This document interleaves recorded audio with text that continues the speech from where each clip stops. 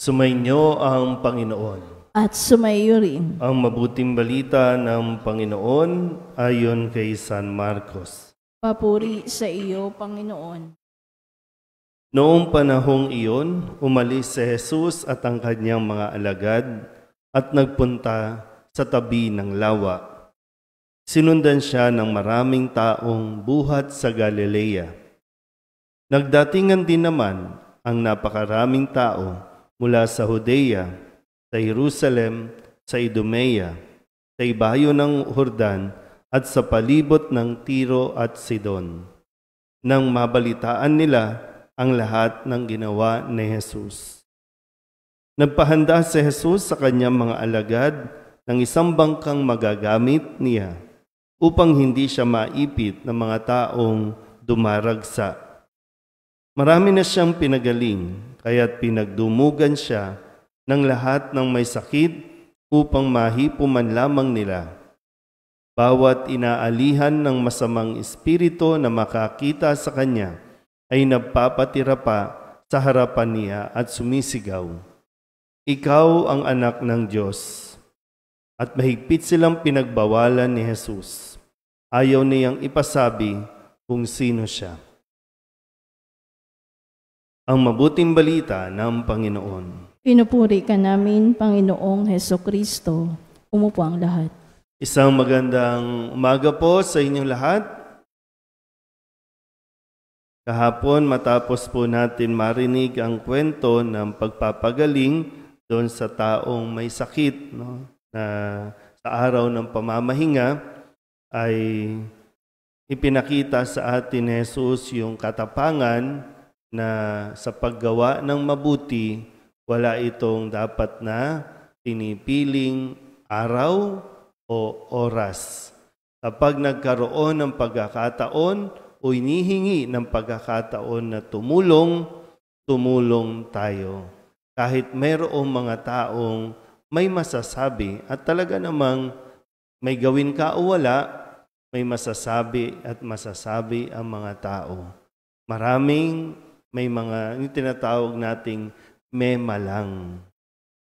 At sa pagtulong din, kailangan natin noon matiyak na ito ay ginagawa natin dahil niniwala tayong ito ang nais ng Diyos sa atin. Kaya nga sa kwento naman sa ating ebanghelyo ngayon, maraming dumaragsa, padami ng padami, ang lumalapit kay Jesus para pagalingin, lalo tigin ang mga may sakit. Mahipo man lamang yung kanyang o mahawakan man lamang niya sana. Yun yung hangad, no? Gagaling at gagaling. At siya naman po talagang hangad ni Jesus. Yung tayo po ay mapalaya sa mga nagpapahirap sa atin. Sabihin niyo nga po, pahirap alam niyo isa sa nagiging dahilan ng uh, pahirap natin sa sarili natin ha, sa sarili natin. Yung pride o tinatawag na ego. Kahit na doon sa ano, no? Kahit sa taong tumutulong. Sabihin na natin, no, yung mga may sakit, minsan bakit hindi ka gumaling-galing? Baka isa dahilan dyan yung ego mo, yung pride mo. Kasi alam mo kung ano dapat gawin, lalapit ka lang eh. No? Hihingi ka lang, magsasalita ka lang. Pero dahil nga sa ego, yung pride, hindi natin ginagawa. Lalo tigit sa harapan ng Diyos. At madalas, ang baling ng ating sisi sa paghihirap natin, Diyos. O pwedeng sinasabi natin, pinapahirapan tayo, pinaparusahan tayo ng Diyos, kaya tayo may sakit na hindi naman talaga totoo. Pero nasa Diyos din naman yung susi ng ating kagalingan kung matututo lang talaga tayong kumilala sa Kanya. Kaya nga, no, dito pagtitingnan natin, buti pa yung mga masasamang espiritu. Ipinagsisigawan kung sino siya kinikilala kung sino siya. Ikaw ang anak ng Diyos.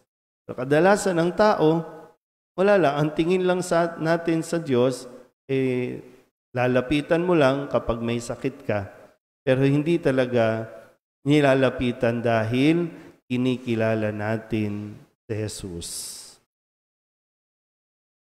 Isang bagay pa po no, na akin po napagninilayan sa araw na ito ay yung pinapatahimik ni Jesus yung mga masasamang espiritu sa pagpapakilala naman kung sino siya.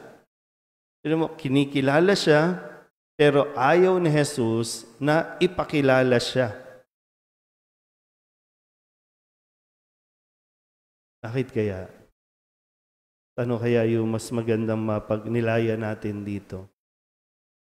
Kasi pag alam niyo, minsan no, kapag meron kang nagagawang hanggang ingrande, no, yung nakakatulong ka, minsan nakakalimot din kasi tayo kapag kinikilala na kung sino ka dahil sa iyong nagagawa. Dahil sa iyong naibibigay. Yung lalapit lang dahil may naibibigay. At lalo, no, sabi ko nga, sa panahon natin ngayon, marami ang tumutulong kapag mayroong camera. Yung, di ah, minsan, no, pag titingnan ko itong tagpong ito, marami kasi yung nagsiself-proclaim pero mo, si Jesus, ha, pwede naman niya sanang sabihin na lang na ako ang anak ng Diyos at may nagsisigaw, may nagko-confirm na mga espiritu, masasamang espiritu na siya ang anak ng Diyos. Pero hindi. Low profile lang. Hindi pwedeng ipangalandakan kasi makakahad lang yung kasikatan na kung sino siya.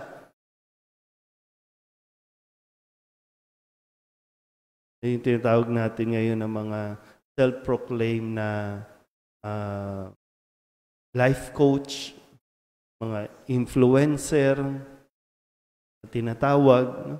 na kanino ang attention? Yung attention ba napupunta sa Diyos o napupunta sa sarili? Kasi iba eh, iba yung pakiramdam kapag sikat ka, yung nakikilala ka. Eh marami, malaki ulo, nakakalimot. Kaya tuloy, yung intention, good intention na tumulong, natatabunan ng kailangan sumikat ako. Ang, ang magandang hamon na mapagnilaya natin sa pagtulong ba natin, mas gusto natin makilala tayo, ang ating mga pangalan, o okay na na basta nakatulong tayo at tumutulong, kilalanin man ng tao o hindi. Dahil ang higit na importante, natutuwa at kinikilala ng Diyos ang ginagawa natin. Amen?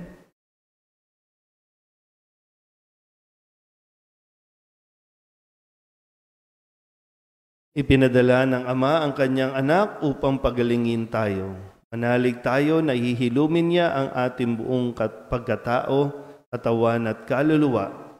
Ang ating pong itutugon, Panginoon, dinggin mo ang aming panalangin. Panginoon, dinggin mo ang aming panalangin.